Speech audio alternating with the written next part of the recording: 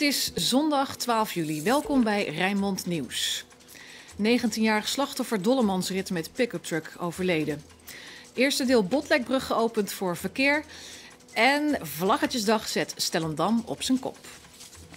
En het weer. Maandag is er veel bewolking met vooral in de middag kans op wat regen of een enkele bui.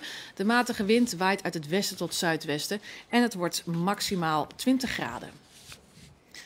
De 19-jarige jongen uit De Lier, die gisteren in Ouddorp zwaar gewond raakte bij een ongeluk en daarna in coma lag, is zondagochtend aan zijn verwondingen overleden. Het slachtoffer en een andere jongen van 18 uit De Lier lagen te slapen in de bak van een pick-up truck op de Kabbelaarsbank. Een vriend die terugkeerde van een avondje stappen wist dat niet en ging met de wagen over het terrein crossen. De twee jongens werden uit de laadbak geslingerd en liepen zware verwondingen op. Het 18-jarige slachtoffer maakt het volgens de politie naar omstandigheden goed. De jongen die met de auto was gaan crossen is zaterdag aangehouden. Vanaf vandaag kan het verkeer eroverheen. De nieuwe Botlekbrug. De brug sluit de A15 aan op de Maasvlakte en is een van de grootste hefbruggen van Europa.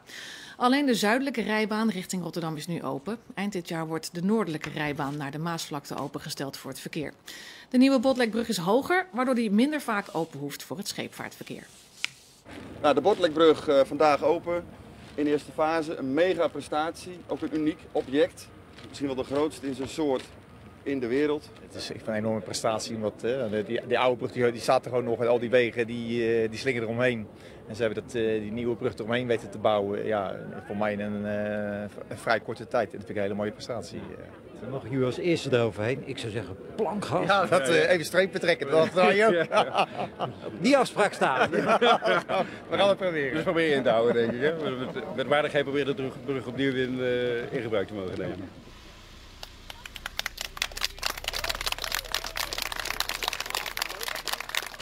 Voordeel hier van deze brug is nu dat hij niet zo vaak meer open hoeft natuurlijk. Ja, hij moet nog steeds open. Ja, maar niet meer zo vaak, dat toch? is niet zo vaak. Dat ja. zo rekenen we dan maar op, ja. 7 tot 8 keer per uur ging de oude Botlekbrug open. En deze is de verwachting uh, één keer per uur, misschien twee keer, uh, één keer in de twee uur. Hij is ook gebouwd, de brug, uh, om heel snel open-dicht kunnen gaan. De, de, het brugdek dat gaat in twee minuten omhoog. Dat is hartstikke snel.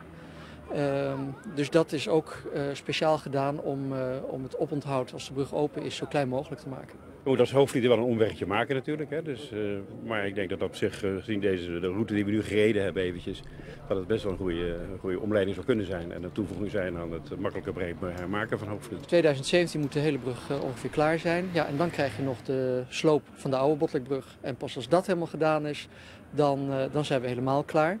En in die tussentijd, hè, want je ziet dat de langzaam verkeersverbinding, dus de, het fietspad en uh, het pad voor de trekkers, dat moet ook nog gebouwd worden. Uh, dat zal ook in 2016, 2017 uh, gaan plaatsvinden.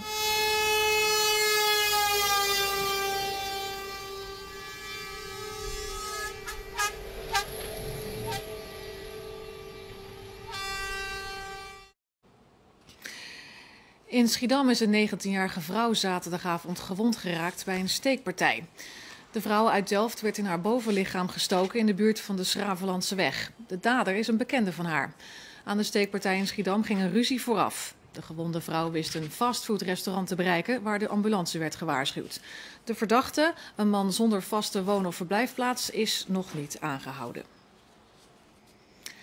Groot feest rond de viskotters in de haven van Stellendam. Want één keer in de vijf jaar is het Vlaggetjesdag. En dit jaar konden bezoekers een wel heel bijzonder visserschip bekijken. Vol duurzame techniek. Maar natuurlijk is Vlaggetjesdag er ook voor de gezelligheid en om een lekker visje te eten.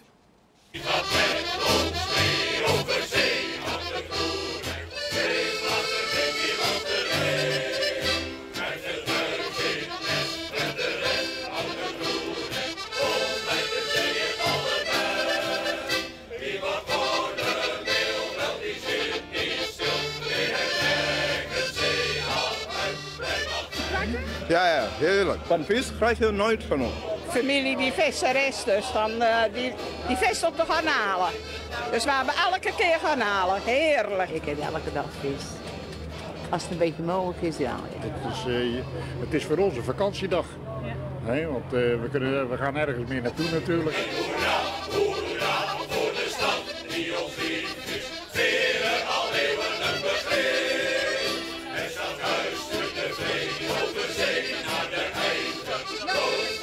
School is een van de belangrijkste soorten de, die met dit schip gevangen wordt. Dus, en de schoolstripmachine uh, neemt dan uh, eigenlijk het werk over van uh, 1 à 2 bemanningsleden. Dus dat is, dat is gigantisch. Ik ben een schipper op deze kotten gedurende de laatste zeven jaar. Gaat het goed? Ja, de visstand is heel goed en alles is eigenlijk in balans zachtjes aan. Nu nog een duurzaam schip. En hoeveel kost het nou, zo'n uh, duurzaam schip? Zo'n duurzaam schip kost uh, 4 miljoen euro. We gaan er eigenlijk toch wel vanuit dat het schip uh, minimaal 30 jaar mee moet kunnen gaan. Ja, je, je, je ziet weer allerlei andere dingen natuurlijk. Ik uh, mag voor mij niet de zaterdag zo wezen.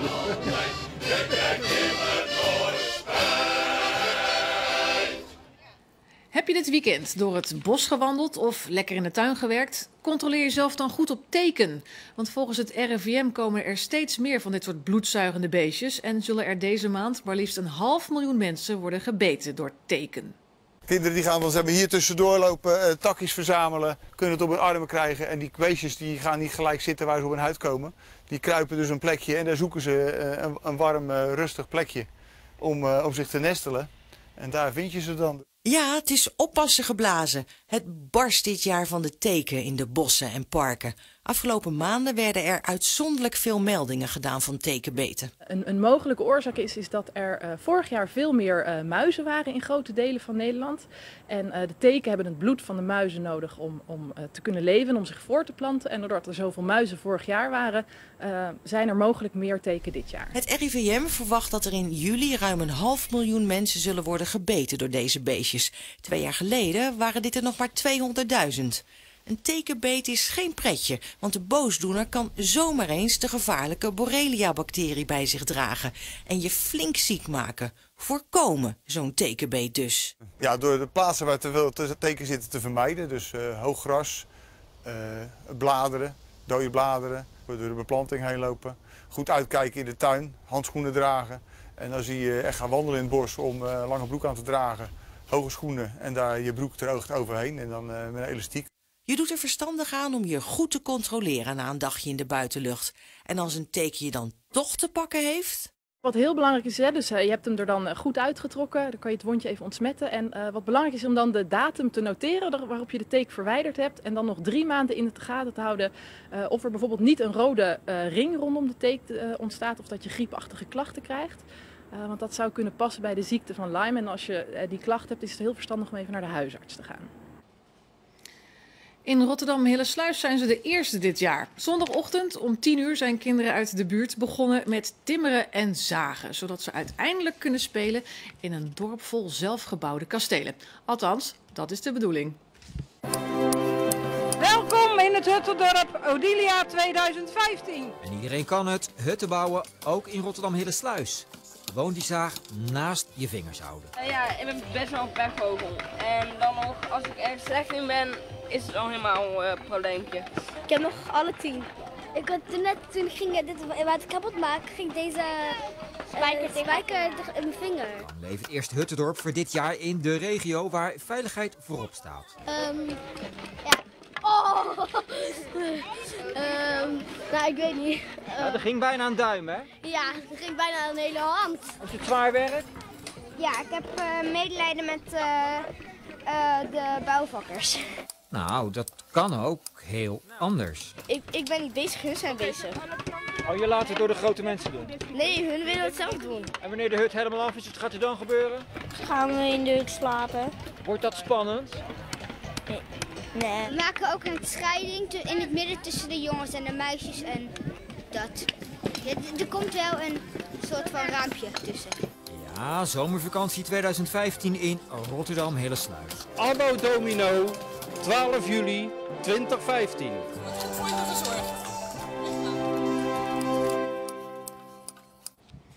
En dit was Rijnmond Nieuws. Meer nieuws op Rijnmond.nl. Nog een fijne dag verder.